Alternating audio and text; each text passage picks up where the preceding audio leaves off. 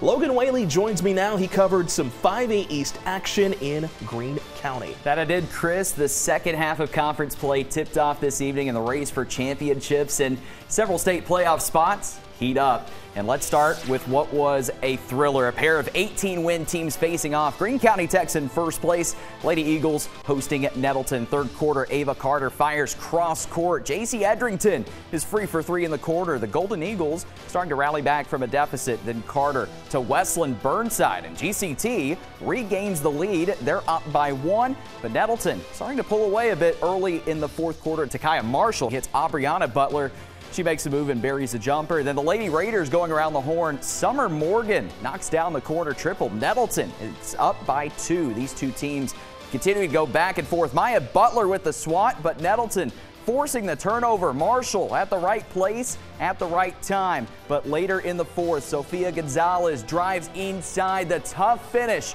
once again gives GCT the lead. Nettleton had it last, down by two with just over four seconds left. Mackenzie Williams scores it, but a foul was called on the pass, so no bucket. Somehow only nine tenths of a second ran off, but the Lady Raiders with one more shot Butler prevents the second chance effort. The Lady Eagles hold on 40 to 38.